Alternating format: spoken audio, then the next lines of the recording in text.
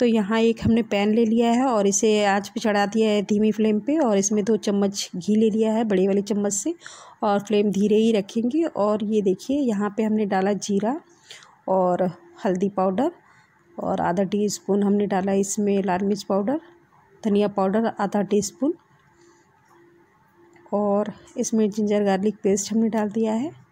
आप चाहें तो गार्लिक स्किप कर सकते हैं। जिंजर पेस्ट से ही काम चल जाएगा। बस ये सब चीज़ों को चलाते रहेंगे। और ये ले लिया कॉर्न। और ये ले लिया थोड़ा गरम मसाला लास्ट में डालूँगी इसे। और सारी चीज़ों को डालने के बाद से मैंने इसे चलाया। इसमें मैंने डाला है दो टमाटर और कुछ काजू और चार हरी मिर्च का पेस्ट बना के वो हमने डाला है इसमें। और कलर देखिए कितना अच्छा आ रहा है।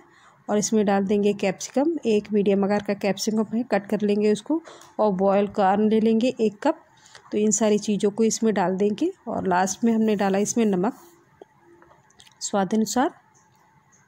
और ये डाल दिया बॉयल कॉर्न जो एक कप हमने लिया था और कैप्सिकम है, जो मीडियम आकार का कैप्सिकम था. तो इसे कट कर लेंगे, जिस शेप में चाहें उस शेप में आप कट कर सकते हैं. तो चलिए इसे चलाते रहते हैं और यहाँ गरम मसाला हमने डाल दिया है और बस इसे दो मिनट में ये रेसिपी तैयार होती है। बहुत जल्द अगर मेहमान आए तो तुरंत बना के आप इनको खिलाइए और काफ़ी टेस्टी और डिलीशियस बनती है ये। आप किसी भी चीज़ के साथ खा सकते हैं, नान के साथ खा सकते हैं, पराठा के साथ खा सकते हैं और रोटी के साथ भी खा सकते हैं। तो चलिए बनाइए इसे। और मुझे बताइए कि आपको मेरी रेसिपी कैसी लगी। इस पर हमने डाल दिया है थोड़ा लास्ट में धनिया के पत्ता और थोड़ा सा गार्निशिंग के लिए देसी घी। तो चलिए thank you for watching my video